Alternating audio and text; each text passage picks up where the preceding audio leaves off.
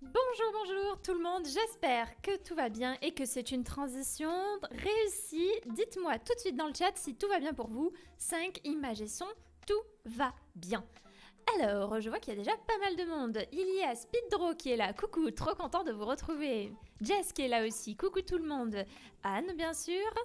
Euh, bonjour, bonjour, Nathalie, Alice, bonjour, j'ai vu presque toutes les radios en replay, mais c'est la première fois que je peux assister en direct. Cool. Eh bien, bienvenue à toi, Alice, et j'espère que cette radio en direct te plaira. Euh, Christelle, bonjour. Nathalie, bonjour. Corinne, bonjour. Val, qui est là aussi, coucou, c'est Val, je vais bien, et vous? Eh bien, on va bien, on va bien, on va bien. Bon dimanche, heureuse d'être avec vous, dit Guylaine. Et Mireille aussi qui est là. Pouce bleu, mi, dit Speedro. Excellent réflexe mettez tout de suite les pouces bleus, que vous soyez en direct ou en replay. Et comme d'habitude, je fais un bisou aux triconautes qui nous regarderont en replay.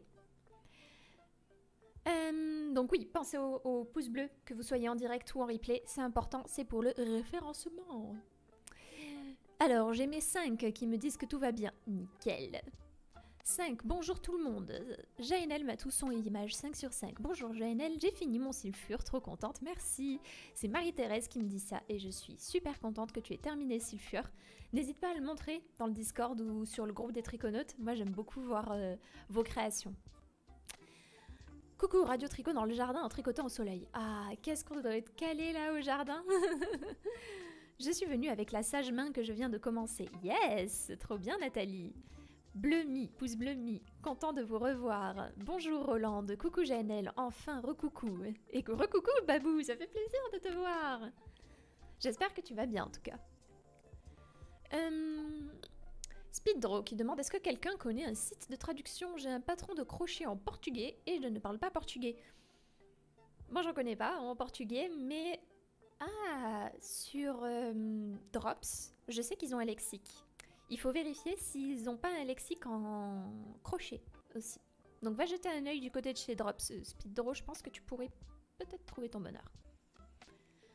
Hey, coucou tout le monde, ravi de vous retrouver aujourd'hui. Fille du vent, coucou. Marie-Estelle, hello. Son un peu faible. Hmm, si d'autres personnes me le disent, je montrerai le son. Pouce bleu, mi. Reverso pour traduire. Ouais, reverso, oui. Mais après, j'ai peur qu'il n'y ait pas de, de mots techniques, en fait, pour le crochet. Donc je pense que Speeddraw, il veut parler des... Tu, me confirmes Speeddraw, mais je pense qu'il veut parler peut-être des termes techniques. Et je suis pas certaine que Reverso... Euh... Hmm, je sais pas trop. Je sais pas trop. Bon bon, bien bien bien. Eh bien écoutez, comment est-ce que vous allez? Dites-moi, comment est-ce que vous allez dans le chat? Est-ce que vous avez passé une bonne semaine? Hmm, Comment vas-tu, JNL me demande Valérie. Alors, j'ai beaucoup bossé cette semaine. J'ai beaucoup bossé, j'ai pas. En fait, je me suis pas arrêtée. J'ai pas. Vous savez, on dit souvent je, décolle, je, voilà, et j'ai pas, je suis pas redescendue de toute la semaine. Donc euh, là, ça me fait plaisir de vous retrouver pour cette radio. Je me suis détendue. Je sais que je vais passer un bon moment avec vous. Donc du coup, là, ça va. Je suis euh, tranquille. Donc euh, ça va. Un peu fatiguée, mais ça va, ça se gère. en plus, euh, ben, je suis en plein dans la formation Mon à la carte, du coup. Donc forcément, il y a beaucoup, beaucoup de choses à faire. Et, euh, et comme j'ai envie de vous préparer plein de jolies choses, voilà. euh... Oui, genre maille serrée, maille coulée, bride, demi-bride, etc. Ouais, c'est bien ce qui me semblait. Donc du coup, essayez d'aller jeter un œil du côté de chez Drops. Peut-être qu'ils auront un, lexique, et vu qu'ils ont plusieurs langues, Alexis qui est là aussi. Mieux, merci avec vous, ça va toujours. Et la chef, faut qu'elle aille bien. merci Alexis, j'ai eu ton message, il faut que j'y réponde. Mais euh, merci beaucoup pour ton mail. Euh, j'ai commencé à lire, mais j'ai été tellement, euh, comment dire, débordée, je vais le dire. J'ai eu, énormément de travail. Donc je, je m'occuperai des mails et je répondrai à tout ça, je pense lundi. Babou, ça a été Jaenel et toi, contente de l'avancement de la formation? Oui, très contente. Surtout qu'on commence déjà à faire les vidéos, donc les vidéos de la formation. Et euh, et il y a plein de choses qui se préparent. Mais je vous dirai un petit peu plus, euh, un petit peu plus tout à l'heure. Alors, on me dit de monter le son. Hop, Voilà, le son est monté et je le rapproche en plus le micro de moi. Normalement, ça devrait aller un peu mieux. Normalement, ça devrait aller un peu mieux. Vous me dites de toute façon.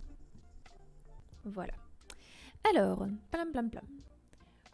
Coucou. euh, euh, oui, en plus, le châle que tu montré en story sur Instagram est superbe. Yes. Je suis vraiment contente en tout cas qu'il vous plaise parce que j'ai eu beaucoup de messages, beaucoup de retours. Donc, euh, de, vos, messages. Donc, vraiment, merci beaucoup. Ça me fait super plaisir de savoir bah, que les, petites photos que je vous fais de temps en temps de la formation vous plaisent. Hum, hum, hum. C'était une suggestion traduction, désolé si pas adaptée. Mais il n'y a pas de souci, Val, il n'y a pas de problème. En fait, Reverso fonctionne très bien en traduction de base, mais euh, c'est juste pour la traduction plus technique, je pense. Mais t'inquiète pas, il n'y a aucun problème.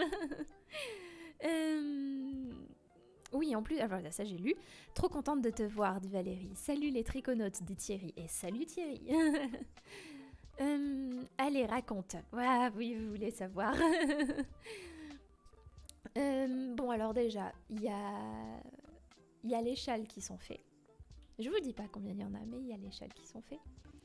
Euh, il y a aussi euh, la rédaction qui a été terminée et Matou a fait une mise en page, mais voilà.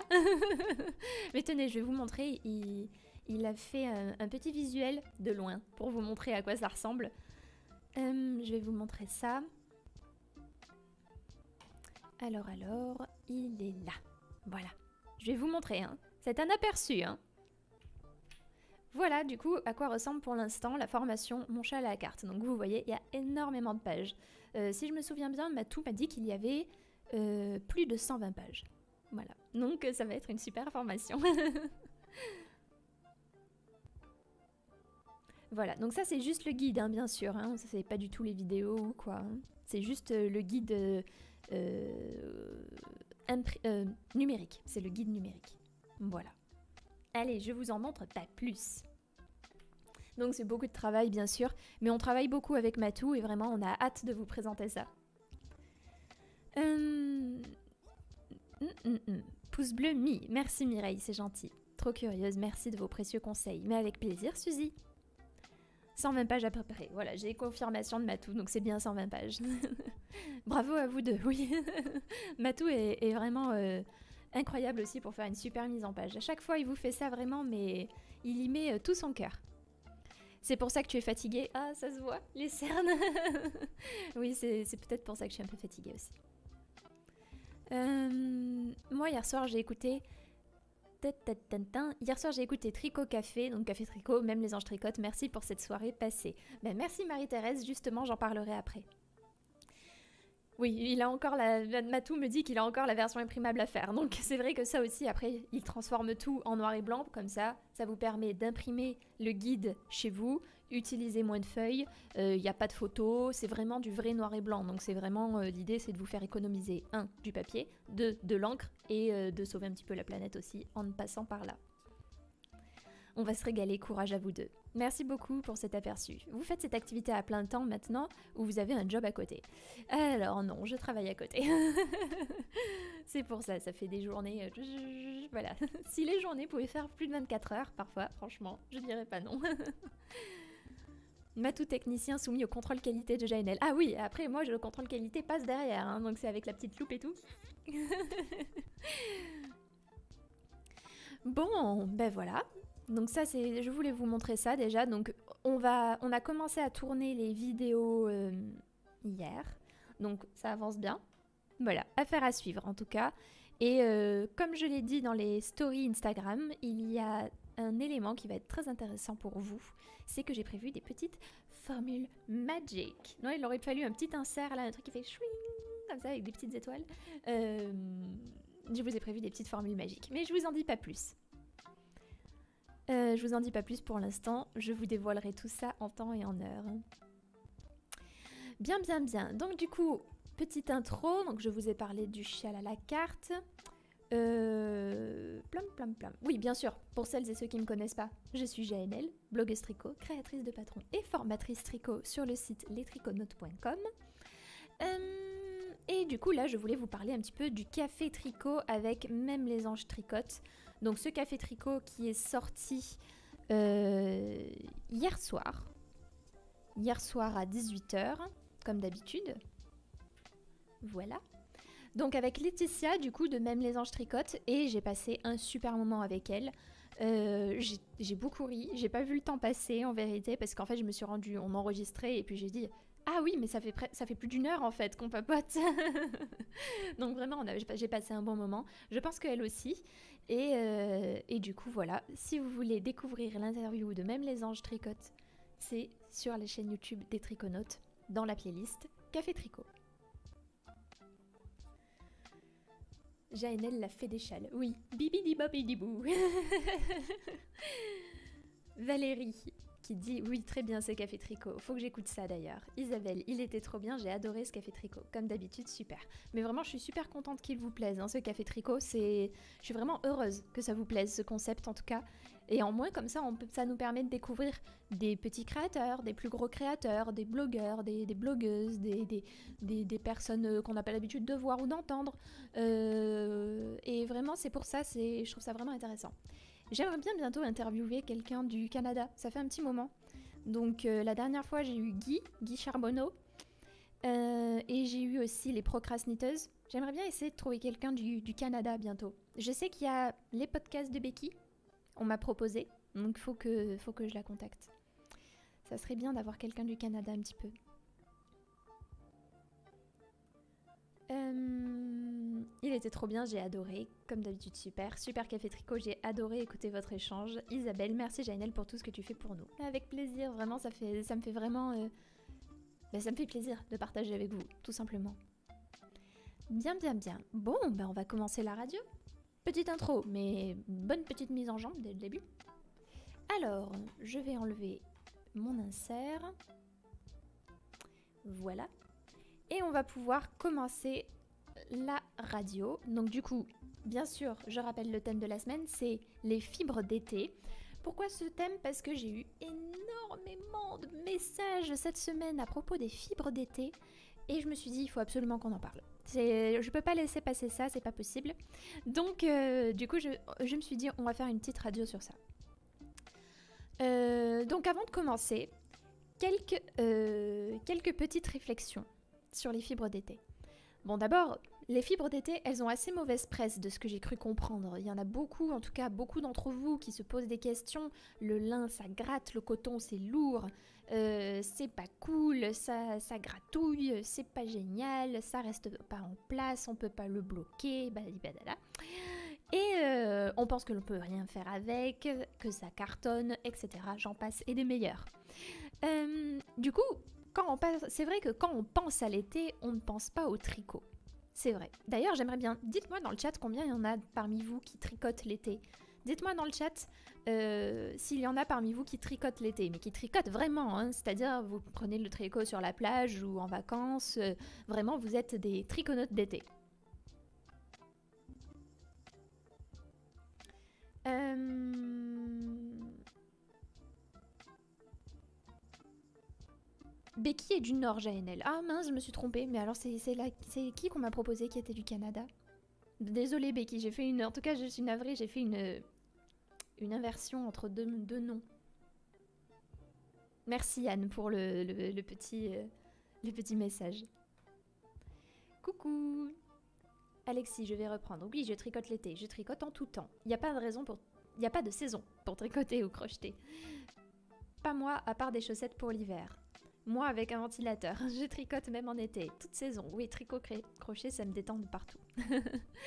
non, on est d'accord, moi aussi je suis plus une triconote d'été. En fait, je triconote toute saison. Et euh, c'est vrai par contre que c'est, je l'admets, quand on pense à l'été, on ne pense pas forcément tricot. Ça, c'est vrai. Cela ne signifie pas néanmoins que le tricot est uniquement réservé à l'hiver. La plupart d'entre nous, euh, donc euh, tricotons l'automne et l'hiver plutôt, voire jusqu'au printemps. Et euh, on a tendance surtout à porter des tricots plus chauds, en laine, alpaga, mohair durant ces saisons. Et, euh, mais néanmoins, on peut quand même tricoter des choses en été qu'on peut porter aussi. Et euh, ça n'empêche pas surtout que les saisons telles que le, le printemps et l'été inspirent et libèrent toutes sortes de créativité au tricot, n'est-ce pas? Euh, en été, on va surtout utiliser donc des fibres végétales. Euh, ça n'empêche pas qu'on ait beaucoup de belles textures. Elles ajoutent souvent du drapé au tricot et elles peuvent euh, et on peut choisir aussi de faire tout simplement des tricots qui sont plus fonctionnels. Donc quand je dis fonctionnel, je pense plus par exemple au, torchon ou aux petits disques démaquillants par exemple. Ça, ce sont des petits projets qui sont plus faciles à tricoter, mais aussi qui ne prennent pas de place sur les genoux, qui vous donneront donc qui vous donneront pas l'impression donc d'avoir un, mouton sur les, sur les jambes à chaque fois que vous tricotez. Donc par exemple, si vous, si vous tricotez une couverture, typiquement l'été, vous allez avoir un peu chaud, sauf si elle est peut-être en coton. Et encore, je pense quand même que le fait qu'elle soit bien lourde, ça vous donnera chaud. Euh tricot au jardin, mais je suis une nomade du tricot, honnêtement. Alors, moi, je tricote l'été et je prépare l'hiver. Oui, ça, il y en a qui le font aussi. C'est-à-dire que durant l'été, il y en a qui préparent les accessoires d'hiver. Mais vous avez du courage quand même, hein, parce qu'il faut pouvoir tricoter le mohair ou le, ou le mérino l'été. Un peu moins, mais je tricote quand même l'été. Euh, designer Marie-Christine Lévesque. Ok, je retiens. Merci, euh, merci Guylaine. Je tricote sur la plage, en montagne, dans l'auto, pas de saison. Je tricote crochette à l'ombre en ce moment. C'est vrai que la laine d'hiver donne chaud. Moi aussi, même en vacances, ça relaxe le soir. Je tricote en tout le temps, laine y compris l'été. Il faudra relancer le hashtag triconote d'été cet été. Oui, c'est vrai. C'est vrai que l'an dernier, on avait lancé le hashtag triconote d'été. Et euh, je pense que cet été, on va le, on va le relancer. Moi aussi, Anne, mais ça donne chaud. on peut faire de la dentelle. Oui, c'est vrai, on peut faire de la dentelle. Mais justement, on va en parler de quelles fibres on peut utiliser, etc. Alors, euh, il existe de très nombreuses fibres végétales et de très nombreuses fibres qu'on peut utiliser durant l'été. On en avait déjà parlé durant la radio, euh, c'était Je tricote l'été, ou Je tricote pour le printemps, c'était ça, c'était Je tricote pour le printemps. Et euh, mais j'ai décidé de vous sélectionner deux fibres que j'utilise moi personnellement énormément l'été pourquoi? Parce qu'en fait, je me suis dit que ça serait plus intéressant de vous donner les fibres que j'utilise le plus l'été, les petits conseils que j'ai par rapport à tout ça. Et si vous avez envie de découvrir d'autres fibres pour l'été, donc par exemple l'algue, euh, le, lin, le chanvre, etc., etc., vous pouvez aller jeter un œil du coup à la radio. Euh, je tricote au printemps et euh, tout savoir sur la laine, ça vous donnera des idées de laine végétale. Euh, le crochet, c'est bien l'été pour changer. Alors moi, je crochette absolument pas. Donc du coup, je fais que tricoter. Mais je sais que l'été, en effet, il y en a qui ressortent plus le crochet. Donc du coup, je vais vous donner, je vous ai sélectionné en tout cas, les deux fibres pour l'été que j'utilise énormément durant, euh, durant cette saison euh, plus estivale du coup. Donc les deux fibres que j'utilise le plus durant l'été, c'est le coton et c'est la soie. Alors je vais vous expliquer pourquoi. Euh, le coton, alors hop, comme ça on suit. Tac. Voilà. Donc le coton tout d'abord. Le coton d'abord c'est un fil qui est facile à tricoter. Il est disponible dans une gamme de couleurs extraordinaire. Il en existe vraiment un nombre incroyable, un choix incroyable de couleurs. Et surtout, on en trouve beaucoup qui est pastel. Donc c'est vraiment très agréable l'été de tricoter des couleurs qui sont un peu plus, euh, euh, un peu plus douces, comme le pastel, le bleu pastel, le jaune pastel, le rose pastel, etc., etc., etc. Il faut savoir aussi que le coton est respirant. Euh, bien plus que le fil, le, enfin, ça n'a rien à voir avec le fil synthétique comme l'acrylique par exemple. En fait, je vous dis ça parce que ici dans le sud, comme vous le savez, il peut faire extrêmement chaud. L'été, on peut atteindre jusqu'à 40 degrés. Donc euh, c'est pas une blague, c'est 40 degrés à l'ombre, hein. donc euh, du coup on peut vraiment avoir très très chaud certains étés. D'ailleurs ils nous annoncent un été très chaud, on sait déjà qu'on va cuire, donc euh, voilà. Et forcément par temps chaud on a tendance à transpirer, bien plus, c'est normal, on évacue et on se refroidit comme on peut. donc le fait de porter du coton quand on transpire, ben, ce qui est intéressant, c'est que le coton absorbe l'eau.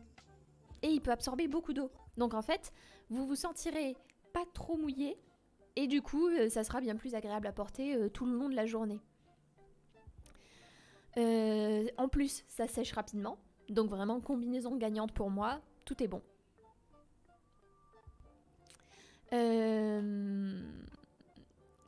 J'ai vu un truc qui m'a fait rire dans le chat, j'y reviens après.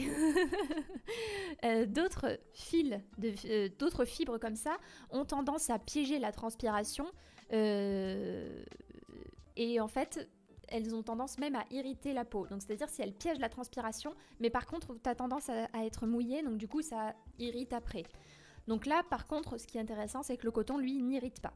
Donc voilà, on a un deuxième, on a un troisième avantage.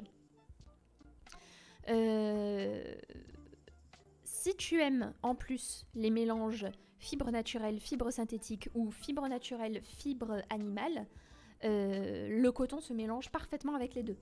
Donc ça c'est un autre atout.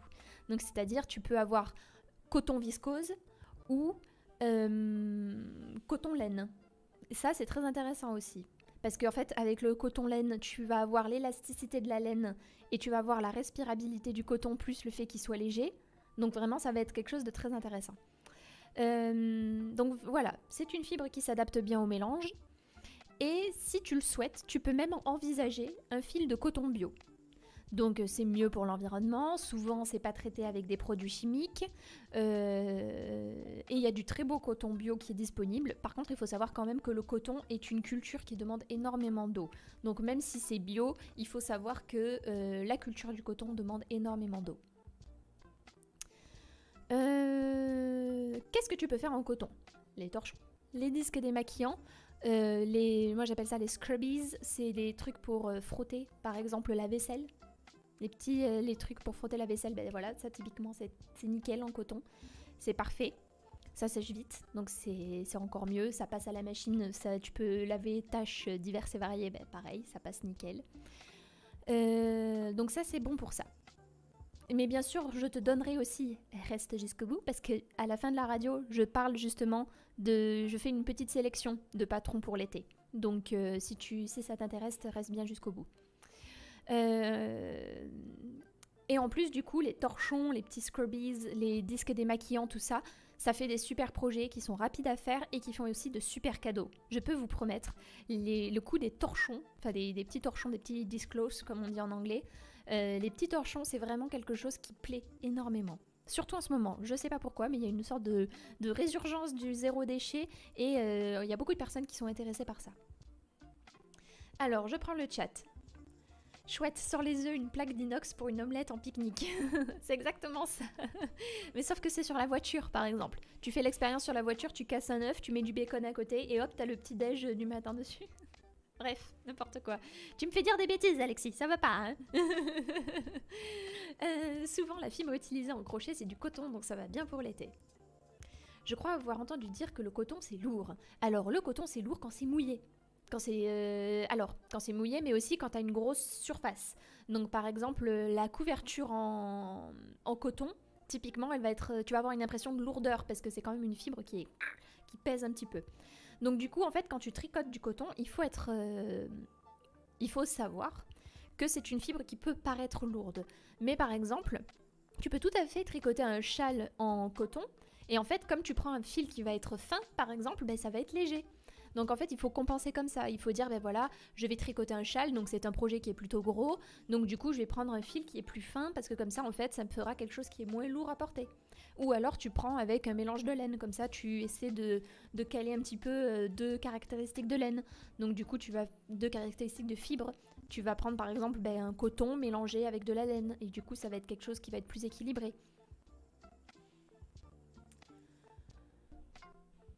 Euh, j'ai du mal à comprendre. du coup, Corinne, j'espère que tu as compris ce que je veux dire du coup maintenant.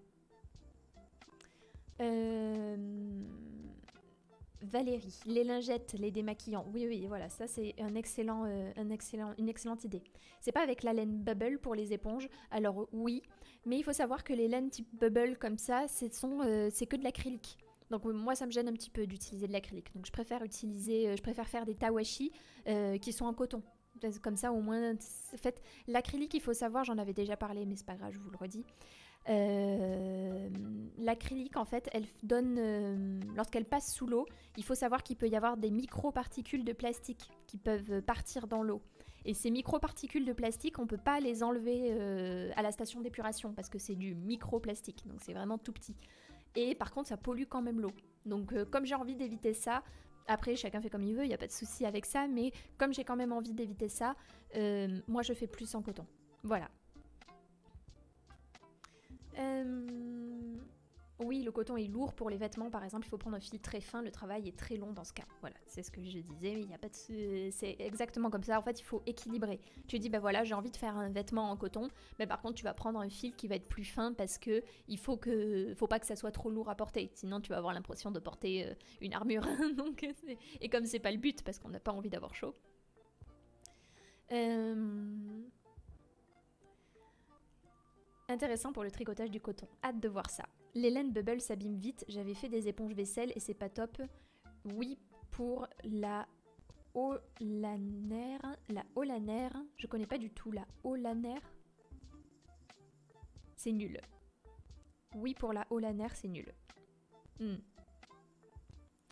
Que veut dire 100% coton mercerisé? C'est bon. Alors le coton mercerisé, c'est un type de coton et c'est surtout un type de filage du coton. Le coton mercerisé, il est bien, mais euh, il va être très particulier en fait à, tricoter. Il va être très serré, il va, il va être souvent fin. Donc en fait le coton mercerisé on le retrouve souvent pour le crochet, c'est pour ça. Euh, donc on peut le tricoter, mais le coton mercerisé je préfère le tricoter, euh, je préfère le tricoter avec par exemple des grosses aiguilles pour faire de la dentelle. Là c'est un peu plus intéressant. après je préfère quand même le vrai coton. La planète. C'est la planète, c'est pas Olaner, hein, c'est la planète. Merci fille du vent. Euh, du coup, tu, tu m'aides euh, à, à, mieux comprendre ce que tu disais. Alors, pour la suite. Donc voilà, ça c'est pour le coton. C'est pour ça que moi j'aime beaucoup le coton. Je fais souvent l'été, je fais souvent beaucoup de ces petits éléments-là. Euh, de ces éléments que j'appelle zéro déchet. C'est vraiment à ce moment-là que je fais un petit peu les stocks. Et je pense que je vous en parlerai bientôt de ça. Hmm. Oui, je pense que je vous en parlerai bientôt. Mais euh, vous le savez, hein, je fais la lessive maison. Enfin voilà, pour moi c'est très important d'avoir euh, évité un maximum les perturbateurs endocriniens divers et variés. Donc euh, comme je préfère ça, j'essaie de faire au maximum de réutiliser les choses, etc. D'utiliser du coton. Vraiment, c'est des choses importantes pour moi. je suis justement en train de faire un débardeur coton bambou. Excellent mélange. Ça, c'est par exemple, c'est typiquement un excellent mélange que j'aime beaucoup. En vous regardant, je suis en train de tricoter une jupe coton polyester totalement satisfaite. Le coton, c'est super pour les amigurumi au crochet. Oui, c'est vrai aussi. Mais comme je crochette pas, mais oui, c'est vrai, c'est très bien pour les... Parce qu'en fait, le coton, ce qui est très intéressant, c'est que c'est une fibre qui va euh, mettre en valeur les textures.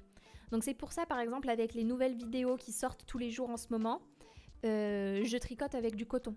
Pourquoi? Parce que c'est une fibre qui va vraiment faire ressortir toutes les textures, donc tous les jetés, toutes les diminutions, tous les, toutes les inclinaisons, etc. C'est grâce à, c'est avec cette fibre que ça va vraiment bien ressortir. Donc du coup, si tu as envie de vraiment bien faire ressortir euh, des points, par exemple, il faut savoir que le coton fait très bien ressortir les points sauf si bien sûr tu prends du coton noir, euh, là bien sûr je peux, là je peux rien faire pour toi. Mais, mais par exemple un coton clair, euh, ça fait bien ressortir les, points. Pour le moment, coton aussi, un polo pour l'été pour un de mes beaux-fils. Oh, la chance La soie, est-ce que c'est facile à tricoter? demande Valérie. Alors, oui, je vais en parler justement. Euh, garde ta question Valérie, tu me la reposes si jamais j'oublie. Hein. Babou. Par contre, ça détend pas plus le coton. Alors, le coton peut se détendre, oui, en effet. Euh, il faut le, ça, c'est un élément qu'il faut prendre en compte. Il faut savoir que le coton peut se détendre un peu plus. Mais, ça joue aussi en fonction du poids. Donc, c'est-à-dire, si tu un projet qui est tout léger, ben, ton coton va moins se déformer. Il va s'étaler un peu plus, mais il va moins se déformer. Par contre, si tu fais, par exemple, un gilet, euh, un gilet un peu lourd, ben là par contre forcément ça va un peu plus se déformer. Mais pas beaucoup, hein. par exemple, je te donne un exemple. J'ai un gilet en Shiny IP Cotton de chez Wool the Gang. Donc c'est un coton, je crois pas que ça soit un coton Pima, mais c'est un coton que j'aime beaucoup, qui est très doux, très agréable à utiliser et qui a en plus de superbes couleurs. Et euh, vous l'avez certainement déjà vu, c'est un petit gilet euh, kimono un peu. Et, euh, et avec ce gilet, en fait, ça fait deux ans ou trois ans que je l'ai. Et il, s'est légèrement agrandi, mais quand je dis agrandi, c'est vraiment pas énorme. Hein. Pas, il a pas pris 15 cm. il s'est légèrement agrandi, mais quasi, quasi rien en fait. Donc oui, ça se déforme, il faut le prendre en compte, mais par contre, c'est pas non plus, euh, ça devient pas une serpillère normalement. si le, point est bien équilibré, si le, tricot en lui-même est bien équilibré, il n'y a pas de problème. Il faut bien faire attention, c'est tout. par exemple, typiquement, vous le faites pas sécher. Moi, le gilet, je le fais sécher à plat. Vous le faites pas sécher sur euh, l'étendoir euh, accroché comme ça sur les fils avec les épaules qui tiennent comme ça. c'est pas possible.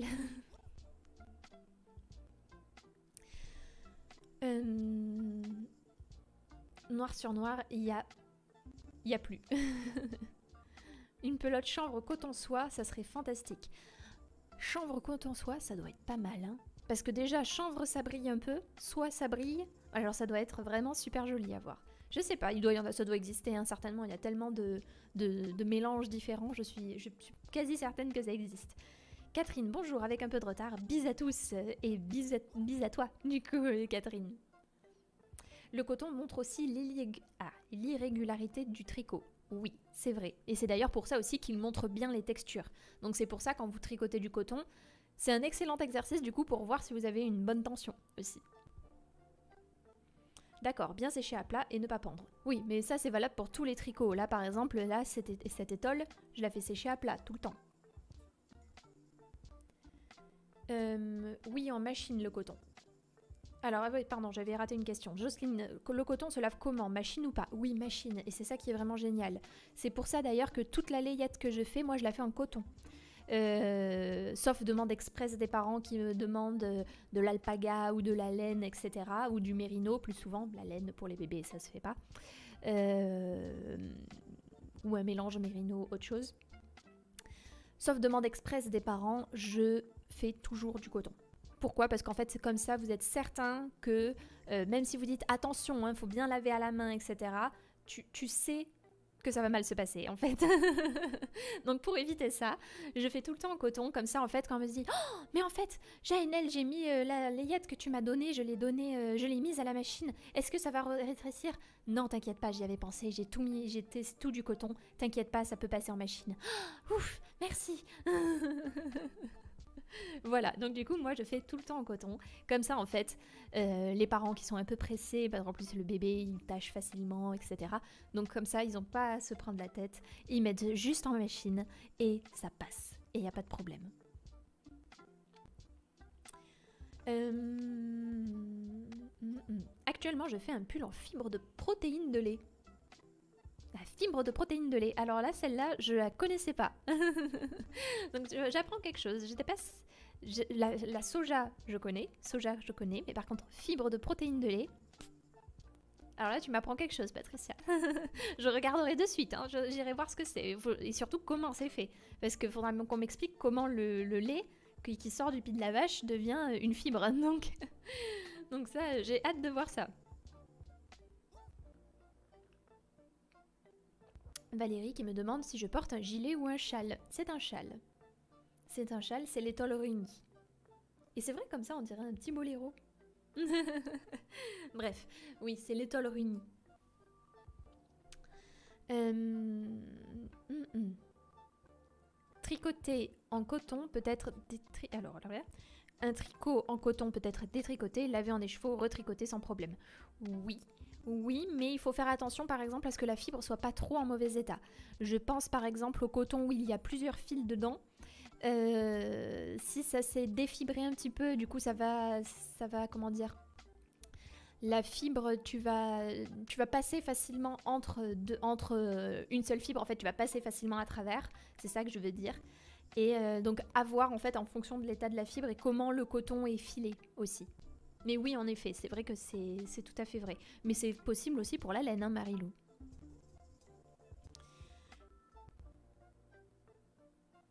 Protéines de lait, un cours s'il vous plaît. oui, j'ai déjà vu la fibre de lait en laine à vendre. Et ben moi, je connaissais pas du tout. Donc euh, j'apprends quelque chose. décidément, on fait des fibres avec euh, presque tout. Hein. On fait des fibres avec presque tout. Donc ça, c'est pour le coton. Est-ce que vous avez d'autres questions pour le coton ou est-ce que je peux passer à la soie? Dites-moi dans le chat si je peux passer à la soie.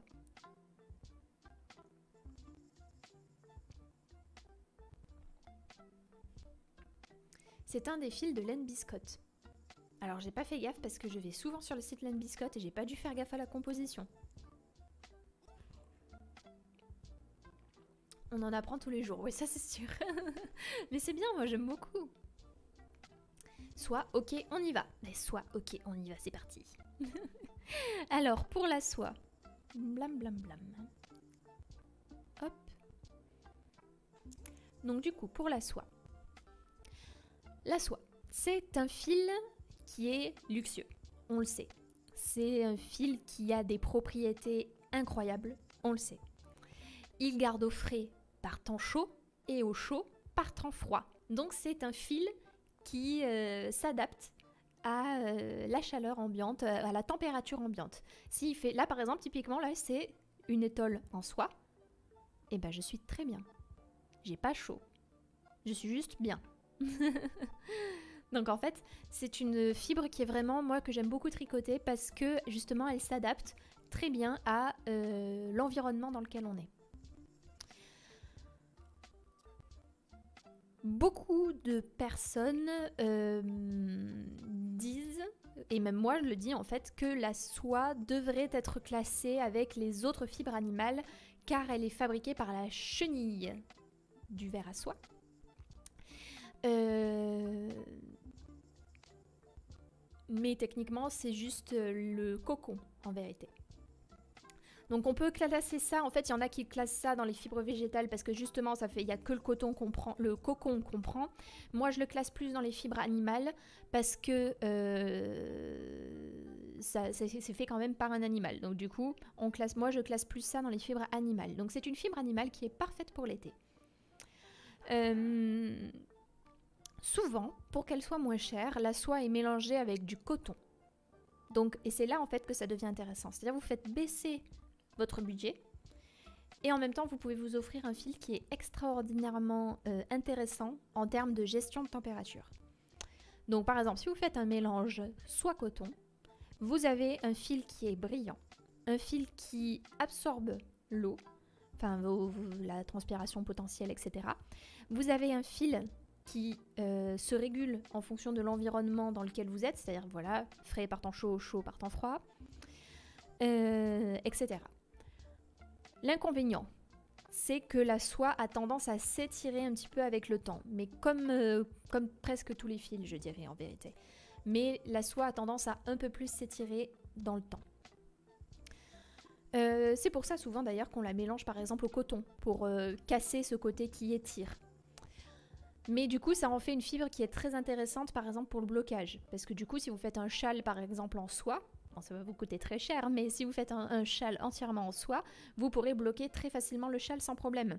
Alors, par exemple, qu'une fibre végétale, vous aurez beaucoup plus de difficultés parce qu'en fait, la fibre végétale va pouvoir être bloquée, mais pas aussi bien qu'un euh, fil animal. Et c'est comme par exemple l'acrylique. L'acrylique, si vous bloquez, en fait, l'acrylique, lorsqu'elle sera bloquée, elle va bien étirer. Et par contre, dès que vous avez fini, que vous enlevez les épingles, ça se rétracte. Donc du coup, ça, c'est comme... Hum, les fibres végétales, c'est comme l'acrylique. Ça, a tendance à se rétracter un petit peu. Donc, au blocage, oui, mais euh, c'est pas génial. Donc du coup, si par exemple vous faites un, un châle en coton pur, mais quand je dis coton pur pur, c'est genre 100%, euh, là, par contre, ça aura tendance à. Les jetés, par exemple, seront pas bien ouverts. Les œillets, on dit. Les œillets, c'est les petits trous décoratifs. Les œillets ne seront pas bien ouverts, etc. Je vous parle de châle, je suis en plein dedans aussi. Donc. Euh, existe-t-il de gros fils de coton? Alors, le plus gros fil de coton que j'ai vu, je crois qu'il était en 5 mm. 5-6 mm. Et c'était chez We Are Knitters. Donc, euh, voilà. Et peut-être chez Fildar. Fildar, faudrait voir Fildar aussi. Mais je pense qu'ils en ont peut-être aussi. Simone, conseille-nous des marques pour le fil de soie, merci. Alors, là, de tête, euh, fil de soie. Un instant. Ben là, il y a la, Lunar que je porte. La Lunar, elle est top. Je crois que Fonty fait de la soie aussi. Bah, il y en a plein en fait, il y en a vraiment plein que j'aime beaucoup. Euh, la fontif et de, et de la soie. Hmm. Laisse-moi réfléchir, laisse-moi réfléchir. Je garde ta question, euh, Simone. Je garde ta question et je te donne des, conseils euh, parce que j'en ai trop dans la tête. Donc il faut que je fasse une mini sélection d'abord euh, dans ma tête et je, te, dis après, pas de problème.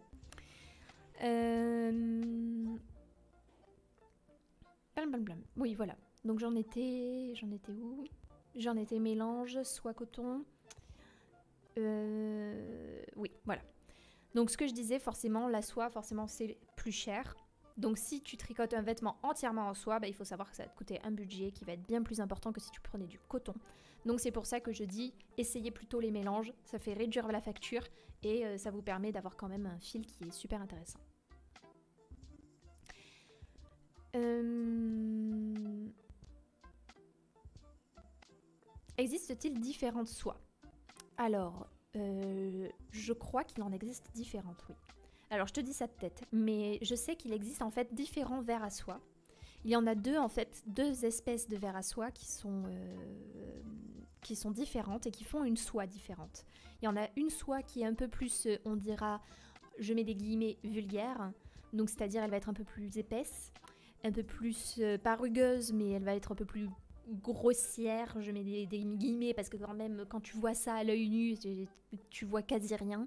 Donc elle va être un peu plus grossière, on va dire, et tu vas avoir en fait un fil à soie, un autre verre à soie qui va faire une soie qui vraiment est très très fine. Donc euh, je me souviens plus les noms, je suis désolée, c'est des noms scientifiques euh, genre euh, euh, non, je vais pas me tenter là-dessus. Mais en fait, en fonction des verres à soie, je sais qu'il y a deux grandes euh, familles de verres à soie qui font de la soie différente. Merci JNL, ça doit bouillir là-haut. Oui, ça bouillit pas mal. ça bouillit pas mal. Est-ce que ça se tricote facilement? Merci Valérie d'être venue sur cette question. Alors oui, ça se tricote facilement. Il faut juste savoir que plus c'est fin, plus ça aura tendance à glisser. Donc euh, par exemple, la soie, moi j'aime beaucoup la tricoter avec des aiguilles euh, en métal parce que ça va vite. Mais euh, il faut savoir que ça glisse aussi, voilà. Donc c'est un élément à prendre en compte, c'est que la soie a tendance à bien glisser sur les aiguilles. Donc si tu débutes et que tu as peur de perdre des mailles en tricotant la soie, il vaut mieux choisir des aiguilles en bois qui vont retenir un peu plus la fibre, la fibre de soie, on parle bien de soie, et euh, par contre, si tu as envie d'aller vite et que tu es assez habitué à, tricoter la soie, tu peux prendre des aiguilles en métal et comme ça. C'est le buzz l'éclair de la soie après. Donc oui, ça se tricote facilement, euh, ça se tricote facilement, mais il faut savoir que ça a tendance à glisser. Donc il faut bien choisir une paire d'aiguilles qui correspond en fait, si par exemple tu commences à tricoter de la soie, il vaut mieux euh, prendre des aiguilles en, bois ou en bambou par exemple pour accrocher un petit peu, sinon ça va vraiment te, perturber parce que ça glisse vraiment bien bien. donc, donc oui, c'est facile à tricoter. Ah, parce qu'au toucher, j'ai pas spécialement trouvé ça fin. Bah, pareil, ça dépend de la qualité du fil, ça dépend de comment ça a été filé, ça dépend de tellement de facteurs, euh, Jess. Donc mon revendeur a vraiment des qualités pourries. Alors ça, je sais pas, mais peut-être. La soie de mûrier fait référence à l'arbre dont elle se nourrit, c'est ça? Oui. Alors euh, la soie de mûrier, oui, c'est tout à fait ça. Et on peut même nourrir les vers à soie avec les feuilles de mûrier, on dit. Speedy Gonzalen. oh punaise, c'est trop bien ça. Speedy Gonzalen, c'est trop bien trouvé ça. J'adore. c'est comment il fait? Il fait. Euh... Arriba, arriba, arriba, Speedy Gonzalen. Bref. La différence entre les soies et la nourriture du ver. Certains ne mangent que du mûrier, d'autres ont une alimentation plus variée. Oui, il faut le ça aussi, c'est très intéressant. Mais en fait, les vers à soie sont vraiment passionnants. Hein. Si, ça vous intéresse, les, les vers à soie, vraiment, je vous encourage à vous, à vous lire un petit peu à ce propos, euh, parce que vraiment, il y en a beaucoup de sortes différentes. Il y a différentes soies, donc vraiment, c'est très intéressant. Les teinturières indépendantes ont souvent des mélanges avec de la soie, souvent associés au mohair, mais pas que. Oui, c'est vrai. Donc euh, si ça aussi c'est quelque chose que vous pouvez aller voir, c'est chez les teinturières indépendantes, il y en a beaucoup qui ont. Euh, il y, y, en a qui font même de la mérissoie, on appelle ça. Donc vous avez un mélange mérino et soie. Bien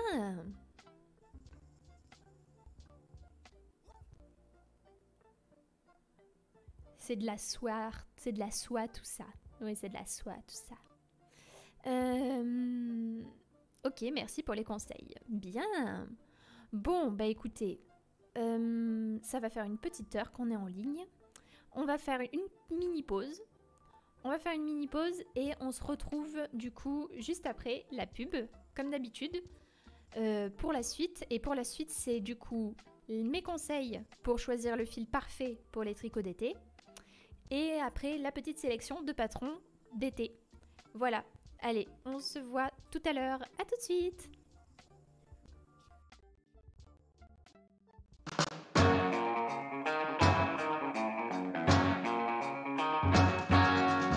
Est-ce que tu t'es déjà demandé comment faire pour tricoter un pull en top-down avec des aiguilles circulaires? Comment faire pour créer son propre pull avec cette technique toute particulière et que l'on voit partout sur les réseaux sociaux? Le souci, c'est que tu ne sais pas comment tricoter un pull en rond. Peut-être que tu as déjà testé et que cela a été un casse-tête. Peut-être même que tu as essayé d'adapter un patron à ta morphologie et que tu n'as pas réussi à avoir quelque chose qui te plaise vraiment. Bien sûr, tu pourrais t'éviter les problèmes et ne pas apprendre, mais tu passerais à côté de quelque chose, à côté d'une technique qui se trouve dans de plus en plus de patrons, sans parler que tu pourrais ne jamais tricoter le pull en circulaire de tes rêves. Le vrai problème, ce n'est pas que tu n'arrives pas à tricoter un pull avec des aiguilles circulaires, c'est que les patrons ne te guident pas vraiment dans ton apprentissage. Si tu veux apprendre à tricoter un pull en rond en top-down, si tu veux savoir comment l'adapter à ta morphologie et créer à la fin ton propre pull, alors tu dois suivre la formation Mon pull à la carte édition aiguille circulaire.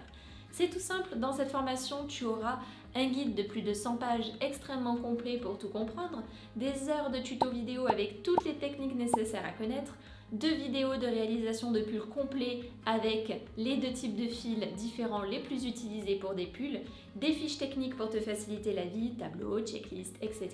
Mais je t'offre aussi une mini formation sur le lavage et le blocage.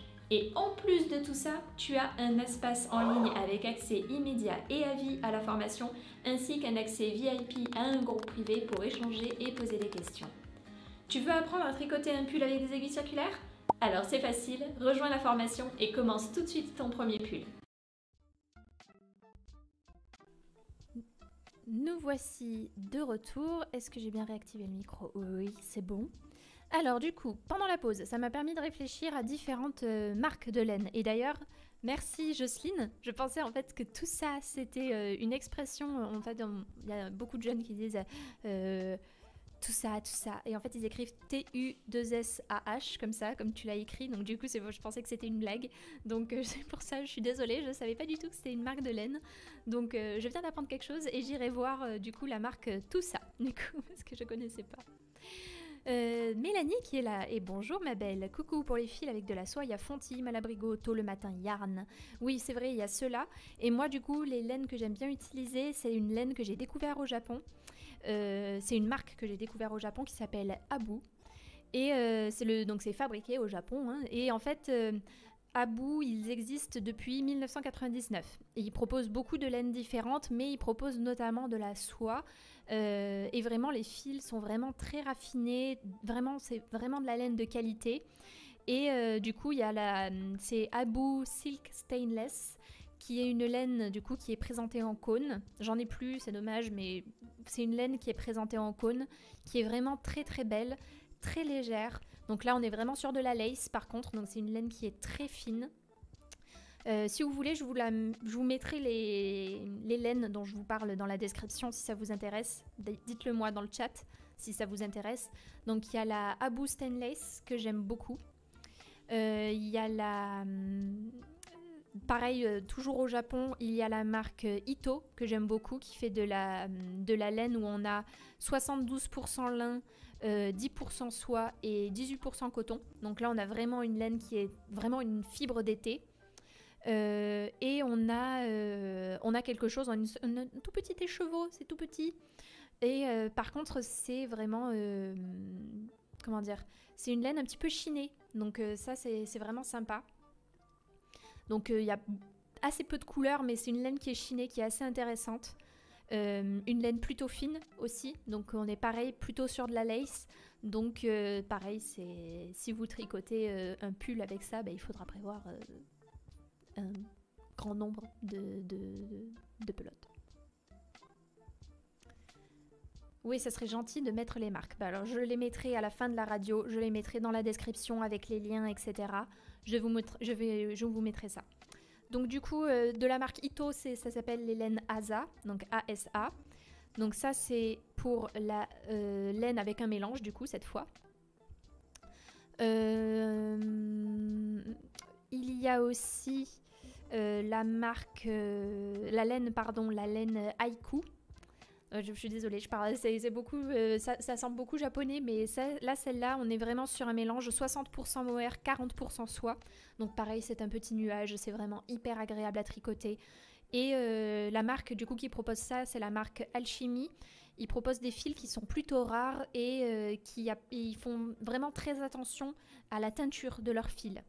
Donc en plus, ils respectent vraiment l'environnement à travers ces principes de teinture, etc. Donc ça, c'est pour ça que j'aime beaucoup cette marque donc de la marque Alchimie, je répète, et c'est la laine Haiku, du coup, H-A-I-K-U. Mais comme je l'ai dit, je le mettrai dans la description, ça sera plus facile. Par contre, info, c'est quand même plutôt cher comme laine. Là, on est sur... Euh, euh, là, si je cherche, on est sur... Ouais, voilà, on est sur 27,90€ euh, les chevaux, là, par exemple, sur laine et tricot. Donc, c'est une laine qui est plutôt chère.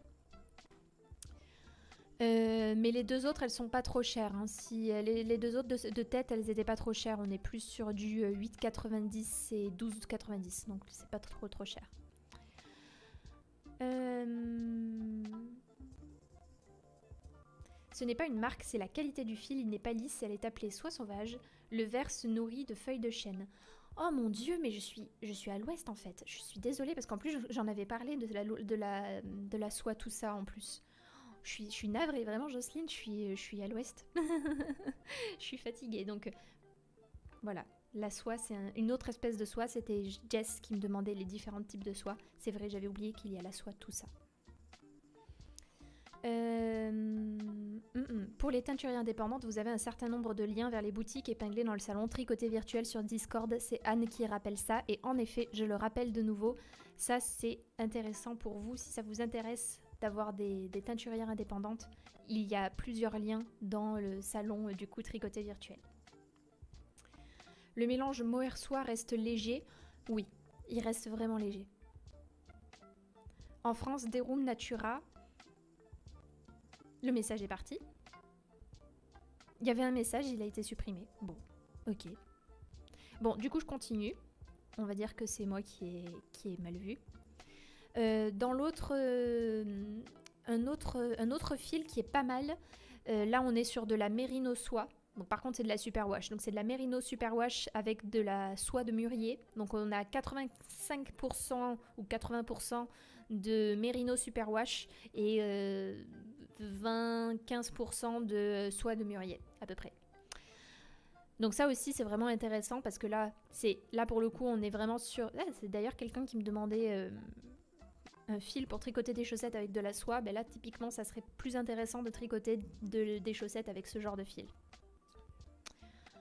Euh, donc c'est la laine, j'ai dit le nom, Héritage Silk. Voilà.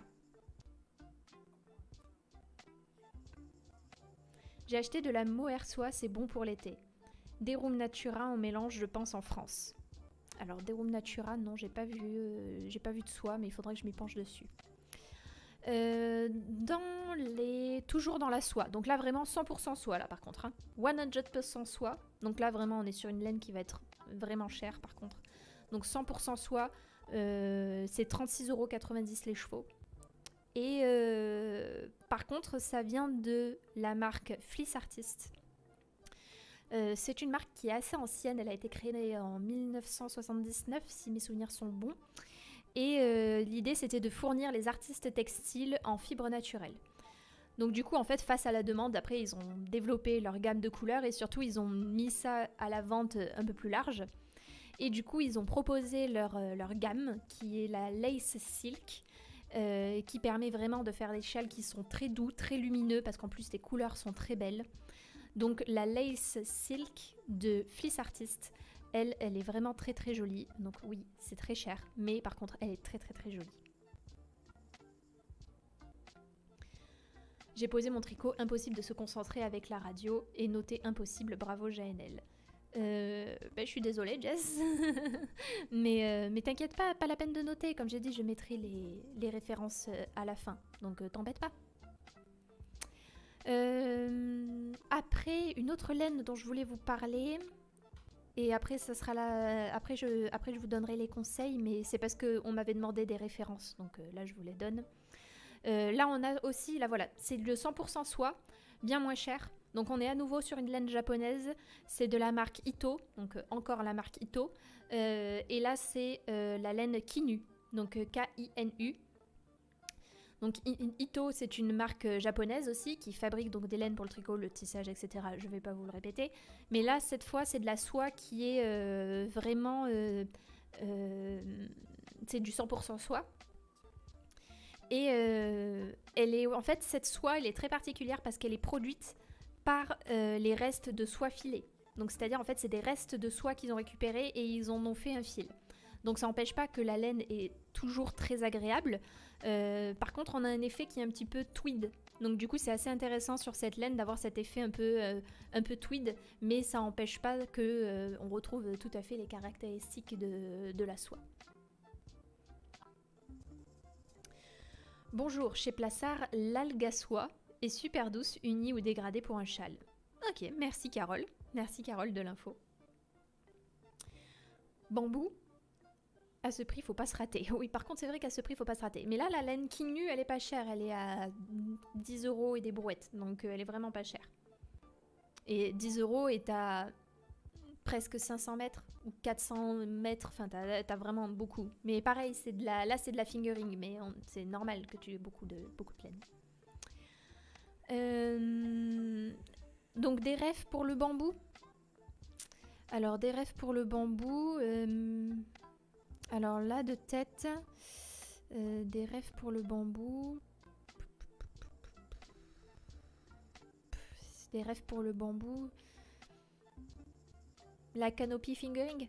La canopy fingering, là, de tête, de The Fiber Company. C'est une bonne, bonne laine. C'est du. Alors celle-là, elle est intéressante parce que c'est euh, 50%. euh, Alors, je- de tête. Euh, 50% baby alpaga. euh, 30% mérino. Euh, bon, il y a de l'alpaga, il y a du baby alpaga, du mérino et du bambou dedans. Donc euh, t'as un peu de bambou dedans. Et sinon, t'as aussi euh, pur bambou, tu as la, euh, de la marque... euh, Ah, vous me faites travailler ma mémoire là, vous me faites travailler ma mémoire. La marque Abu, H-A-B-U. La marque Abu, et euh, là c'est du 100% soie soie, 100% bambou. Donc on a un fil qui est assez lumineux et très doux, qui peut même faire penser à la soie justement. Donc ouais, celle-là aussi elle est pas mal. Cheval blanc pour le bambou. Oui, bien sûr, il y a cheval blanc aussi pour le bambou. Mais j'essaie de vous sortir des noms que vous connaissez pas. Non, j'essaie de vous sortir des noms que vous connaissez pas forcément. Il n'y en a pas des françaises Oh si, certainement. Il y en a, comme j'ai dit, Fonty, ils, doivent, ils en font. euh, euh, Cheval Blanc, ils en font. Fildar, ils en font. Il y, a, plein de marques françaises qui en font. Euh, c'est juste que j'essaie en fait de, parfois de vous donner des noms que vous connaissez pas pour vous donner d'autres... d'autres euh, comment dire d'autres noms de marques parce qu'on n'a pas tendance par exemple à regarder du côté des pays euh, du soleil levant mais c'est vrai que eux font beaucoup de laine aussi donc euh, Valérie, voilà, Fonty, je crois que j'en ai vu chez Belle Laine du bambou, faudrait vérifier. Boucle laine, faudrait voir en fait ceux qui font de la laine, ceux qui font de la laine en fait. Mais Fonty, je suis sûre qu'ils en font du bambou. Je, je mets quasi ma main à couper qu'ils en font du bambou.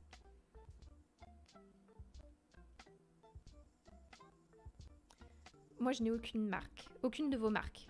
Jocelyne qui dit désolé. Pourquoi tu dis désolé, ma belle? C'était pas, je t'ai pas dit, euh, j'ai pas voulu dire ça, mais j'ai pas dit ça méchamment. Découvrir d'autres horizons, oui, tout à fait. Des Room Natura, oui, bien sûr, avec la Pénélope et l'Albertine, bien sûr aussi. Voilà. Voilà, voilà. Bon, alors, quelques conseils? C'est mieux de prendre un mélange soit coton ou coton bambou. C'est une question Jess? Parce que les deux vont bien en fait. hein. C'est mieux de prendre un mélange soit coton ou coton bambou. Les deux sont bien. En fait, ça dépend ce que tu cherches, mais les deux sont bien. Je plaisante. Bon, ça va, je suis rassurée alors. Parce que vraiment, c'était pas. Bref. Je confirme le bambou chez Fonty. Voilà. J'ai entendu que la laine est, respirable. Je voulais faire un t-shirt 100% mérino. Un avis Euh, pas, pas, pas mérino pour respirable. Non, non. euh, Tu vas avoir un peu. Oui, la laine est respirable, mais tu risques quand même d'avoir un peu chaud. Donc. euh, Plutôt une fibre d'été. Justement. Plutôt une fibre d'été ou alors avec un mélange. Euh, mérino coton ou mérino bambou ou mérino soie. Mais. Mérino pur. J'ai peur que t'aies un peu chaud, vraiment. alors, pour la douceur, alors euh, mélange soie ou coton bambou pour la douceur. Euh, pour la douceur pure, soit coton. Mais euh, coton bambou, il y en a qui diront que c'est légèrement plus rêche. Mais c'est vraiment, on est vraiment sur du, du détail quand même. hein. Tu achètes où sur internet me demande Patrick. Alors j'ai plusieurs sites et j'en parle dans un article justement. Euh, un article de blog. L'article de blog s'appelle Acheter sa laine en ligne. Et je donne plusieurs boutiques euh, où j'achète en ligne parce que là où je suis, il n'y a pas beaucoup de merceries. Euh, Il y en a qu'une seule, c'est une, une boutique fil d'art. Et comme j'aime bien utiliser autre chose que du fil d'art, ben, j'ai d'autres boutiques du coup en ligne que je commande. De tête, il y a laine et tricot, boucle laine, euh, laine à l'ouest, il y a... J'ai dit laine et tricot Laine et tricot, boucle laine, laine à l'ouest, belle laine. Euh, Bref, là de tête, euh, là je t'en ai donné déjà 3-4 là. Merci, j'avais des doutes également. Euh, bambou, c'est hyper doux et soyeux. Oui, c'est vrai. Mais par contre, il y en a. En fait, c'est. Oui, je suis d'accord avec toi, Jocelyne. Mais il y en a qui vont dire que ça gratouille un peu plus. Donc, euh, moi, je trouve pas. Mais si vraiment il faut choisir, ben, je dirais soit coton parce que c'est ce que je préfère. Mais voilà. Euh, hum, hum. Tu vas chauffer là-dessous. Ou alors c'est une fille 100% n'aimant pas le Mistral et le froid. J'ai dû rater un message, Alexis, parce que j'ai pas bien compris. Euh, merci ma chérie. Eh, Avec plaisir, Jess. Et merci JNL, me dit Valérie. Bon, ben on va passer aux conseils. Allez, c'est parti pour les conseils. Donc du coup, les conseils pour choisir le fil parfait pour les tricots d'été. 1. On privilégie les fibres végétales, c'est le mieux. 2. On opte pour des fils qui sont plus fins, donc plus respirants. Euh, On évite les fils qui ont tendance à être flous. Donc quand je dis flou, c'est par exemple le mohair. Euh, C'est bien, mais vous pouvez avoir un peu chaud. Donc du coup, on évite quand même les fils flous. Euh, on teste euh, les tensions. Donc on fait plusieurs échantillons avec des tensions différentes. Et surtout, on teste des modèles plus lâches.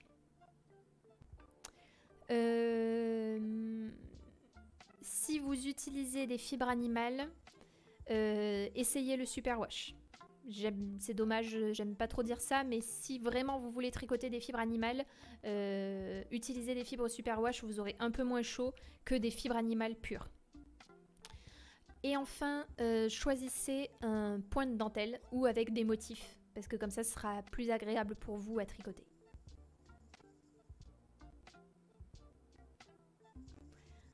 Achetez- ah oui, bah voilà, Matou a mis le lien de l'article. C'était Thierry qui me demandait, Patrick, Patrick, je vais y arriver. C'était Patrick qui me demandait, donc achetez sa laine en ligne. L'article il est là. Merci Matou. Euh, Bon, ben on va passer à la sélection. Ça vous dit? Est-ce qu'avant de passer à la sélection, vous avez d'autres questions?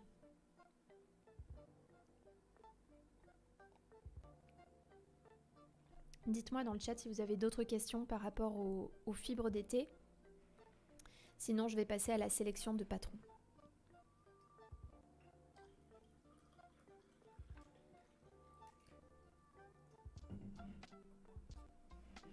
Bon, pas de réponse, c'est que ça doit aller.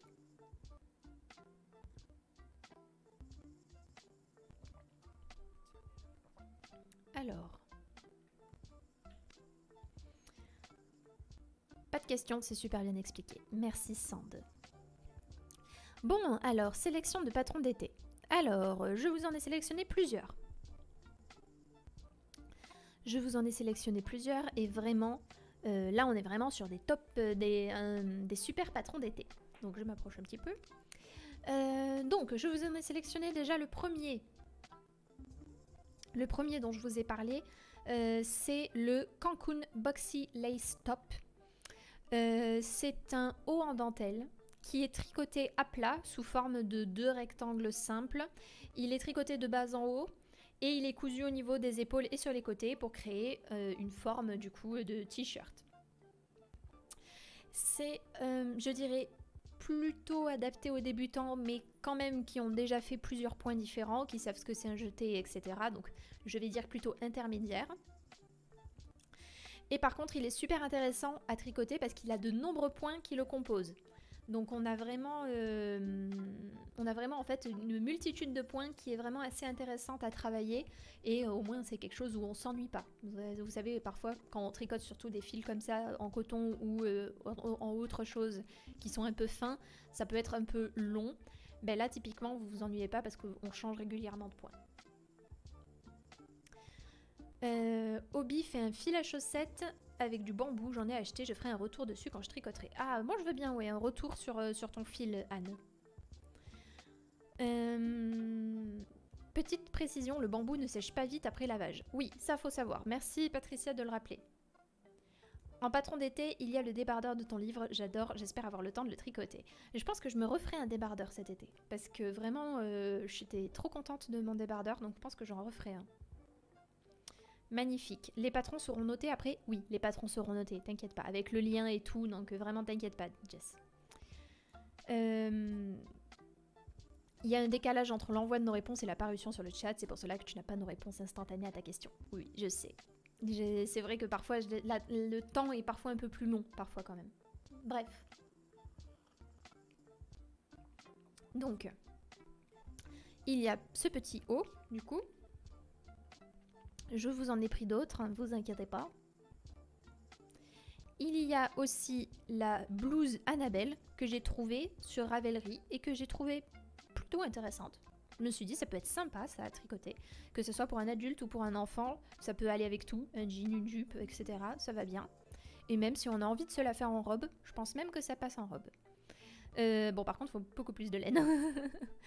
Donc, Annabelle, c'est un petit haut en tricot à manches courtes euh, c'est un modèle qui est plutôt large et ample.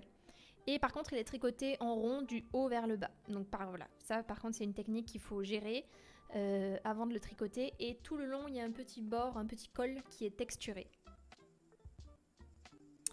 Voilà, voilà.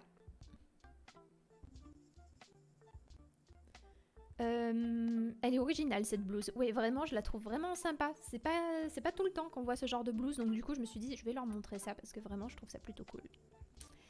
Euh, ensuite, il y a un petit débardeur. Donc là, c'est un débardeur de chez Drops. Euh, c'est le Strawberry Summer. Un top d'été qui est vraiment près du corps, enfin qui semble plutôt près du corps. il est tricoté à plat, par contre. Mais ce que j'ai bien aimé chez ce débardeur, c'est euh, les textures qui suivent les formes du corps. J'ai trouvé ça plutôt intéressant, j'ai trouvé ça assez joli. Donc, et puis même avec un jean, là, comme la, comme la dame porte, je pense que ça peut très bien aller pour l'été. Et en plus, vous savez, il y a des, épaules un peu, un peu épaisses. Et moi, je préfère ça plutôt que quand il y a des fils un peu trop... Euh, comment dire là, là, par exemple, ce que je porte, c'est c'est un débardeur avec des fils autour du cou, mais euh, ça remonte bien. Et moi, ce que j'aime pas, c'est quand ça fait des petites ficelles vraiment et que ça descend bas. Euh, j'ai l'impression d'être en nuisette après. Donc, donc voilà.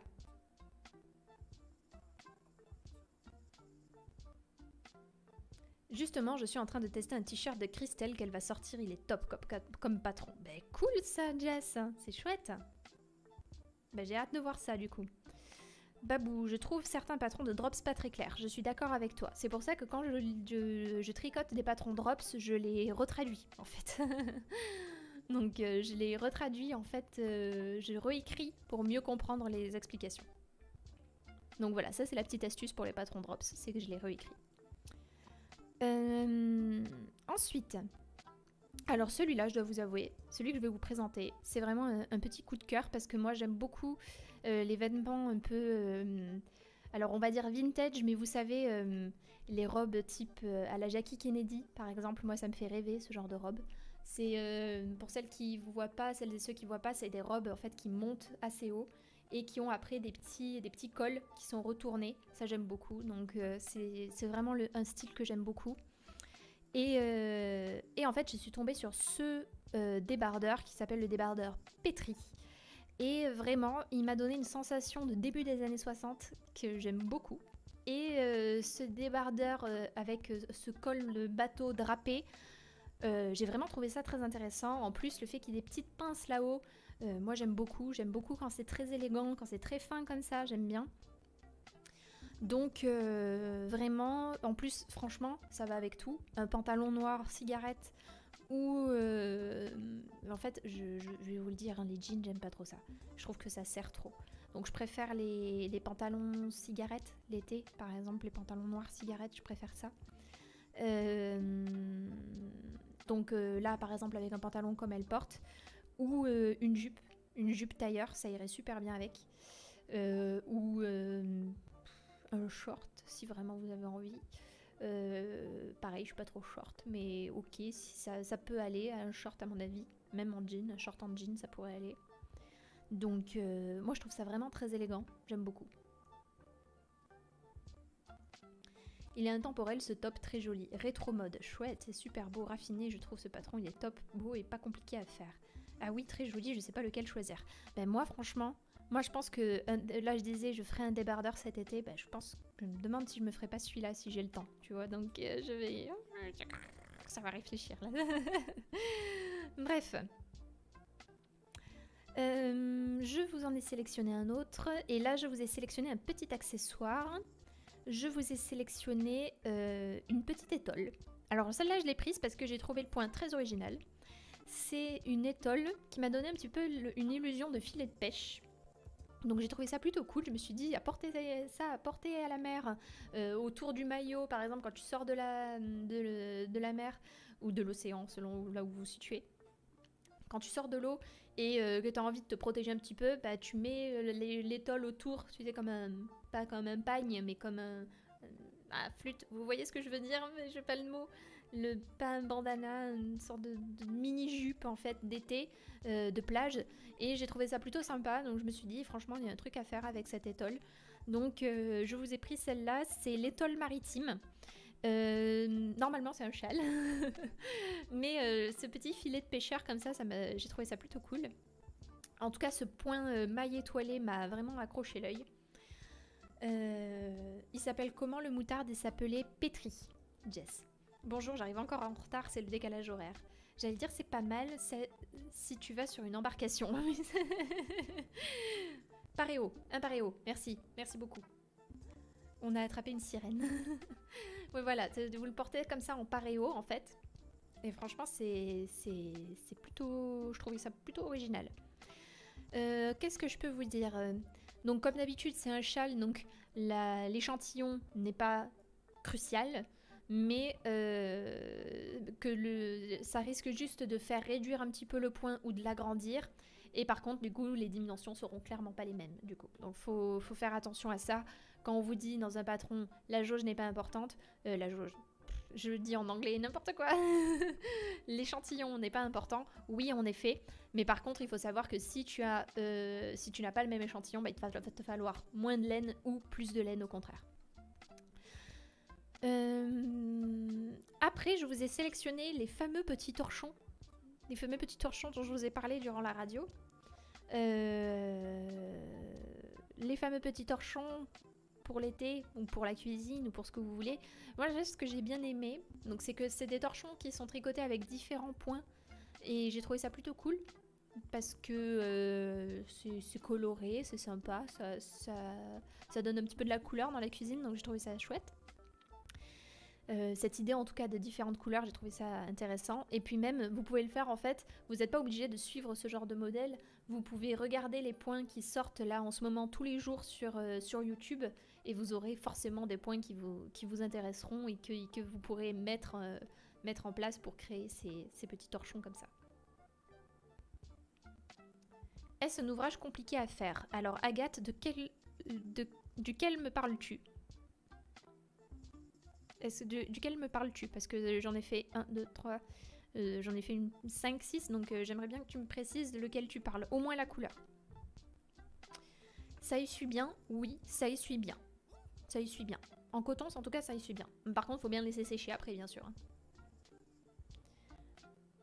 on peut appliquer tes vidéos de points pour faire les petits torchons. Oui, voilà. Je pense que en fait, il vous faudra juste faire un, morceau plus gros forcément, mais vous pourrez, le, vous pourrez les faire avec les vidéos.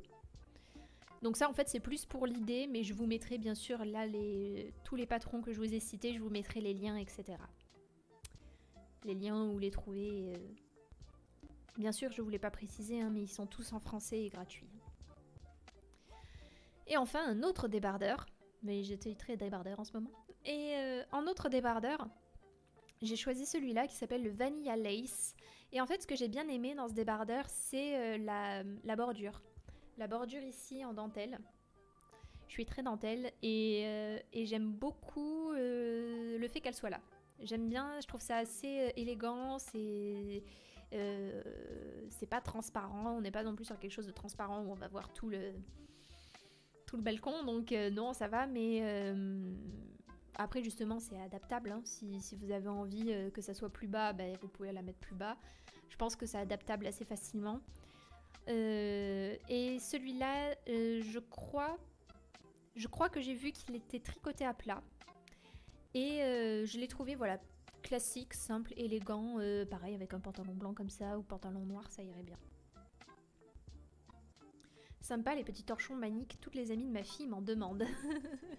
ça m'étonne pas parce que c'est vraiment super à la mode. Hein. donc ça m'étonne pas vraiment qu'on te les réclame à corps et à, cri, Roselyne. Super joli. Oui, oui, oui. Voilà. Bon, bah c'était la petite sélection. Voilà, je vous en ai présenté plusieurs. Et euh, franchement, moi, parmi ceux-là, je pense vraiment que celui, euh, moi, celui qui m'a vraiment fait de l'œil pendant mes recherches, faut que je le retrouve, mais c'est le, débardeur pétri, c'est celui-là. Je pense que si j'ai le temps cet été, j'aimerais bien me le tricoter. Parce que celui-là, vraiment, euh, gros coup de cœur pour celui-là. Voilà, voilà. J'aime bien les trois derniers hauts. ben merci Corinne, je suis contente que la sélection te plaise. Merci pour la sélection, dit Babou. Et avec plaisir. Bon, bah écoutez, très bon choix. Merci, c'est gentil. Mais j'aime bien en fait euh, dans les styles, j'aime bien euh, comment dire. Il y en a beaucoup qui disent moi je vois pas le tricot comme quelque chose qu'on doit porter, etc. Euh, moi je suis pas du tout dans cette pensée-là. Je préfère prendre le temps de tricoter quelque chose et de le porter. Si je prends le temps de tricoter quelque chose et que je le porte pas, je trouve ça trop dommage. Je suis vraiment pas dans le tricot décoratif. je suis vraiment dans l'utilitaire. C'est moi je préfère tricoter quelque chose et l'utiliser. c'est pour ça par exemple les chaussettes. Il y en a beaucoup qui tricotent des chaussettes et qui ne les portent jamais.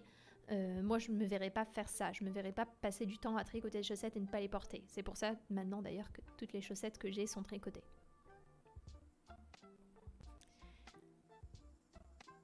Tricoté très fin. Euh, lequel, Alice Pareil, même question. Lequel Ils ont l'air quand même plutôt tricotés fin, la plupart. Hein. Euh, super, merci. Dur de choisir, ils sont tous très beaux. Oui, ça, je suis d'accord avec toi, c'est pas facile de choisir. Le dernier présenté doit être plus difficile à tricoter. Celui avec la dentelle, je sais pas. Mais il doit être peut-être plus difficile par rapport à la dentelle? Tous, dit Alice. euh... Aïe, maintenant, va falloir choisir dans cette belle sélection. Existe-t-il des chaussettes pour l'été euh si tu fais un mélange, euh, par exemple 50% mérino, 50% coton, ça c'est possible. Et après, si vraiment par chaussette d'été, tu veux quelque chose de euh, avec de la dentelle, ben oui, ça existe. La chaussette avec la dentelle, ça existe. C'est pas trop ce que j'aime. J'aime pas trop ça. Euh, ou alors vraiment fine et légère. Mais les gros trous dans les, dans les chaussettes, hmm, j'ai un peu de mal. Donc, euh, en fait, ça me fait penser dans les années, les chaussettes à trous comme ça, enfin les chaussettes à dentelle, si vraiment c'est un effet filé, ça me fait penser justement aux chaussettes avec l'effet filé, vous savez, dans les années 2000 et à peu près, dans les années 2000, il y avait les, on portait, enfin c'était à mon époque, on portait des gants avec un effet filet et c'était fluo, enfin c'était rose fluo, vert fluo, noir, blanc et euh, et pareil il y avait des chaussettes comme ça aussi, des comme des résilles, voilà. Et euh, bof, voilà, c'est pas pas trop mon truc. Mais si t'aimes bien Jess, oui ça existe. Chaussettes en coton, ça serait possible. Alors, je crois qu'on en avait déjà parlé. Chaussettes en coton, littéralement, c'est possible. Mais euh, techniquement, c'est possible. Mais par contre, comme je le disais, c'est ça va pas être élastique. Et ça va pas être... C'est-à-dire, elles vont te tomber sur les chevilles. Donc on n'a pas envie que les chaussettes nous tombent sur les chevilles. Euh, c'est pour ça que je te propose un mélange euh, laine-coton. Pour avoir en fait le côté élastique de la laine et la fraîcheur du coton.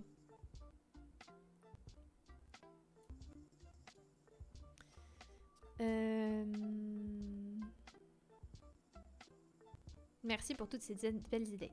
Nathan, salut, je viens d'arriver, j'ai raté quoi? Aïe, t'arrives, je crois qu'on est plutôt sur la fin que sur le début, Nathan. Euh, obligatoirement Mérino Non, pas obligatoirement, j'ai dit Mérino parce que c'est la première qui me vient, mais laine en fait, ou, mais j'ai Mérino parce que ça gratte pas en fait. La forme du top moutarde me plaît beaucoup. Ouais, pareil. Là, je suis trop fan. C'est typiquement le genre de choses que j'aime. Euh, fin, c'est mieux quand il fait chaud et c'est mieux pour le séchage. Oui, oui, oui, oui, oui, oui, oui. Surtout si tu choisis du bambou, du coup. euh, mitaine en résille, lol. oui, c'est ça.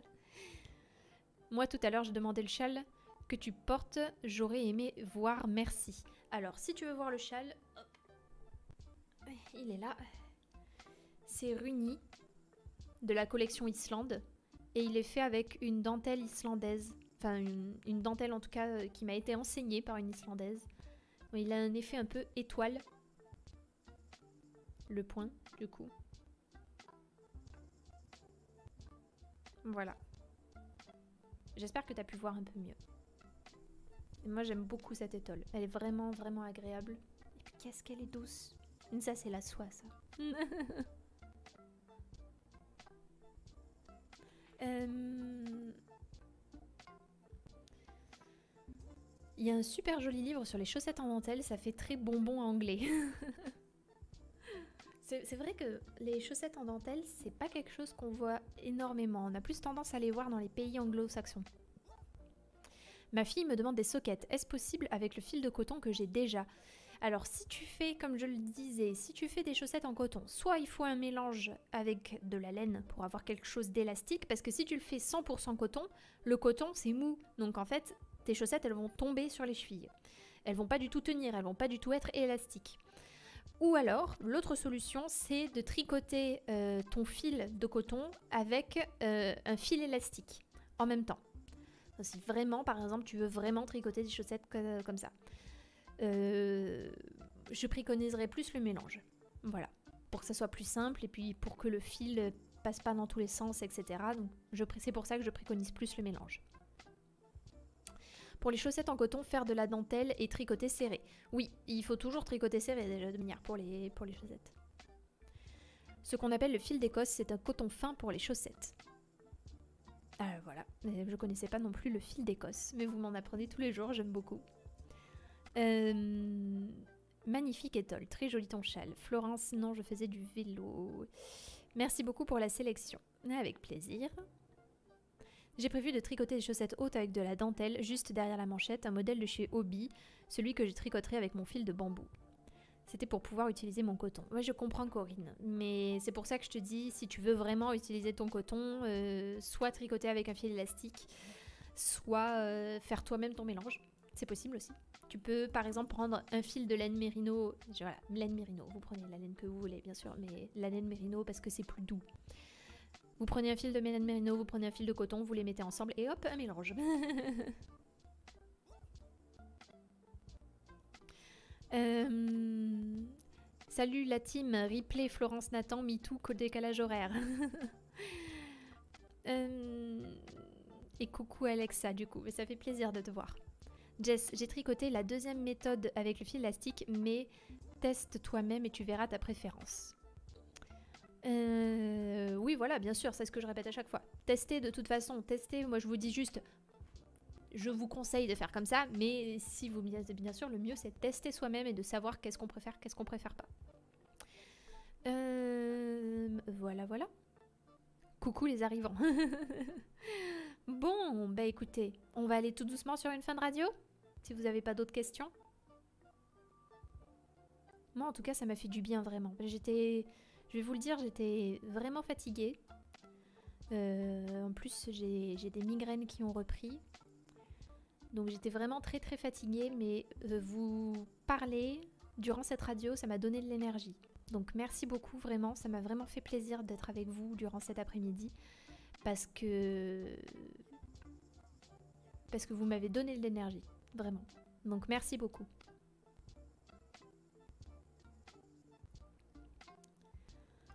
Euh, merci JNL. Si je mélange mon fil de coton au film de ça ne sera plus des sockets d'été. Super radio comme d'hab qui met du baume au cœur. C'est passé vite. Et oui, et pourtant ça fait 1h30 déjà qu'on est en ligne. Hein. Belle radio, tu as gagné ton pouce bleu. oui, pensez au pouce bleu. Merci pour ce bon moment. Prends soin de toi, repose-toi surtout. Merci pour la radio, pouce bleu fait. Prenez soin de vous, à vous tous. Repose-toi demain. Content que l'on puisse t'aider. Merci à toi, tu es une vraie championne. Yes Les migraines, c'est atroce. Oui, vraiment. Euh, vraiment, c'est atroce. Super radio, merci. Pour les douleurs au poignet, des astuces? Oui, douleurs au poignet, astuces. Euh, baume du tigre. Baume du tigre si ça te fait mal. Et euh, mettre des straps de rugby. Donc vous savez, les, les thermos... Euh, moi, ce que j'utilise, c'est les thermoplastes, je crois, ça s'appelle en pharmacie. Vous demandez des straps et vous demandez des straps cohésifs, surtout, pas adhésifs. Je répète, strap cohésif et pas adhésif. Euh, donc Nathan, si tu as mal au poignet, tu te mets un strap, tu fais un ou deux tours de strap autour de ton poignet, pas trop serré bien sûr, et euh, cohésif. Et du coup comme ça, ça t'évitera l'épilation quand t'enlèves le strap. Euh, et puis sinon, j'ai plein d'articles sur les douleurs au poignet, donc je t'encourage à aller les voir. C'était une radio sympa, mais tant mieux, je suis contente que ça t'ait plu, Isabelle. Le plaisir pour nous, merci, bonne semaine. Faut vraiment que tu fasses une pause, JNL, ta santé d'abord. Pour les migraines, essaie les tisanes de lavande, c'est assez radical. Euh, je suis suivie pour les migraines. Je, vais au centre antidouleur de ma ville, euh, mais je, testerai les tisanes de lavande. Merci beaucoup, Isabelle, je connaissais pas. Merci, bon repos, fin de journée. Où sont les patrons? demande Louisa. Les patrons seront mis à la fin de la radio. Donc là, c'est-à-dire je finis la radio, je coupe et euh, je mettrai les radios après coup. Ça me fait de la peine de te voir fatiguée comme ça. Mais non, t'inquiète pas Patricia, ça va. Moi, je vais prendre de l'énergie en regardant le replay. Pouce bleu fait. Oui, pense à toi, ma belle, on t'aime. Belle radio, merci, merci. Douleur au poignet. Voilà, Matou a mis douleur au poignet ici. Coucou, les bandes de kinésiologie. Alors, je sais pas si ça s'appelle bande de kinésiologie, mais c'est utilisé par les kinés, oui. Migraine, huile essentielle, menthe sur les tempes. Oui, j'ai vraiment testé plein plein de choses. Mais merci Catherine. Le retour des migraines annonce un trop de travail, fais attention à toi. Repose-toi Janelle, Matou, vous en faites trop quand on donne, il faut penser à se reposer aussi, merci. Où se trouve le tutoriel des débardeurs? Ah, Louisa, à la fin de la radio. Pas la peine de spammer. Pas la peine de spammer. Merci pour la radio tricot, tous tes conseils, prends soin de toi. Il y a un article sur les douleurs dans le blog, reposez-vous. On attendra pour ta formation châle. Grand merci à toi, très bonne radio. Euh, gros bisous, belle semaine. Bon, bah écoutez, je vous fais plein de bisous. Prenez soin de vous. Je vous fais plein de bisous. Et euh, on se dit du coup à la semaine prochaine, même jour, même heure. Je vous tiendrai au courant. Euh, prenez soin de vous, c'est le plus important. Bisous